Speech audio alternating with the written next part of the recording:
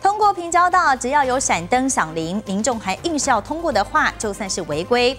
在台中乌日学田路平交道临近新乌日火车站，那么因为班次相当的频繁，所以汽机车在等过平交道时，通常一等就要超过十分钟以上，也导致有一些驾驶不想等了。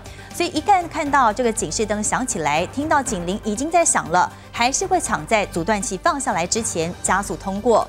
在日前就有民众拍下有好多名骑士冒险闯越平交道的画面，但这样的行为最高可以开罚九万元。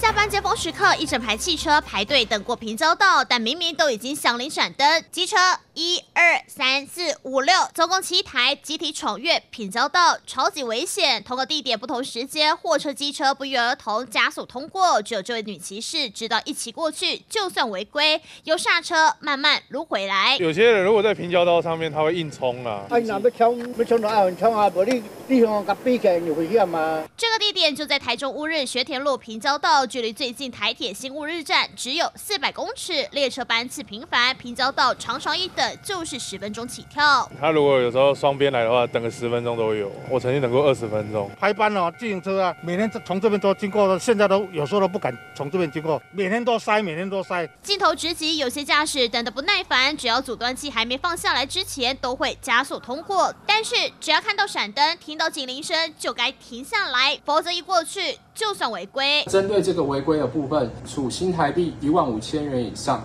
九万元以下的罚款，那并且吊扣驾驶执照一年。驾驶无视警铃闪灯，一来让自己深陷危险当中，还得吃下万元罚单。记者潘信、陈世杰台中报道。